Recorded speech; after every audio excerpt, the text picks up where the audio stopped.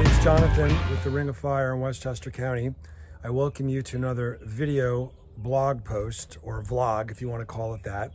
Um, today, we are going to focus on answering the question which has been posed to me numerous times. What is better, a Lynx grill or a Viking grill? We're going to answer this quickly, succinctly, and get to the point. Um, first thing we have to understand is that the Lynx grill and the Viking grill, for the most part, are essentially the same.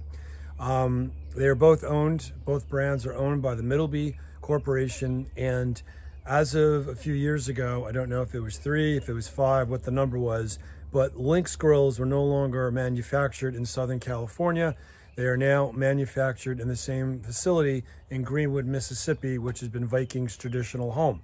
So the grills are built, engineered, etc., under the same tent in Mississippi.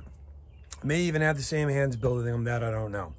Okay, so the grills, if you look at them nowadays, are very similar looking with the exception of the badge, the logo that is on the front of them. Okay, Viking grills are very different than what they used to be. As we pull out old Viking grills from the 90s and the early 2000s, those Viking grills were much, much deeper than they are now. So what the company decided to do is follow the Lynx footprint and um, just make the Vikings um, to follow those specifications. Now, there are some differences, though, that are worth noting, aside from the price, the Viking being more expensive. Um, the Viking grills are using the old Lynx brass burner, okay? The Lynx grills are using a ceramic burner, which they put into use a number of years ago, about three, four years ago.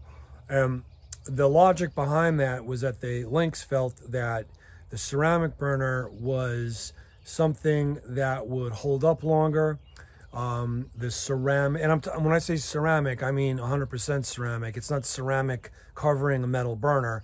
It's ceramic. So the idea, and you, you can think about how like a Kamado, like a Big Green Egg or a Kamado Joe works, the ceramic grabs the heat and does a very good job of dispensing it in an even fashion, okay? Um, a metal burner will break down after a while. It will corrode, it will rust, it will blister, etc., etc., etc. But the reason that Viking burner, though it is metal, okay, it's brass. And brass holds up, as far as metals are concerned, very, very well when it comes to high heat. So there's an argument that you can make that perhaps the Viking burner, the brass burner, is better than the Lynx ceramic burner. Um, ceramic does crack. I have had some instances, both in my showroom and with some customers, where the ceramic burner has cracked. Um, Lynx, of course, covers that under their lifetime warranty, which also with the first year is free shipping um, of the part. So that's something to, to, to remember. But um, when it comes to heat, and that's like if you look at um, some of your pro indoor stoves, like the Thermador, like the Viking, the 5 and the 7 series, you'll notice that there is brass underneath the burner because the brass holds up very well under high heat. Um, Lynx, of course, is going to have a far fuller breadth of products. I mean, if you look at the way things shake down, it's very apparent to me that the Middleby Corporation wants to push the Lynx brand as opposed to Viking Outdoor. Um, if you want to do a full-on outdoor kitchen, you know, Lynx, they offer far more products than Viking does. I mean, Viking has the pieces for an outdoor kitchen. They've got the refrigeration, they've got cabinets, but nowhere near the extent that Lynx does. The other thing is there's a very big difference in price. Um, not only is the Lynx less expensive, but Lynx also, and this goes for both the Sedona line and the professional line, they are offering a 10% promotion money back if you go over your certain dollar threshold, which I think is $5,000. Okay. Um, Vikings not doing that.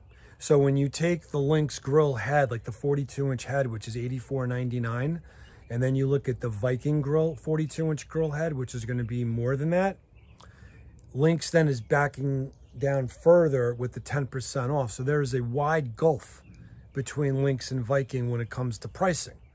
So now one has to say to themselves, well, is it really, is that, is that delta between the two brands, is the brass burner really worth that?